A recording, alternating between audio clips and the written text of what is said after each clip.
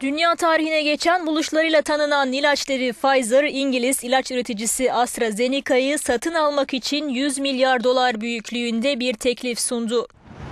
Teklifini basın aracılığıyla duyuran Pfizer, satın almanın iki firmanın da çıkarına olacağının altını çizdi. Fakat şimdiye kadar AstraZeneca'dan anlaşmaya dair olumlu bir yanıt gelmedi. Ancak haberin ardından AstraZeneca'nın hisseleri %15 değer kazandı.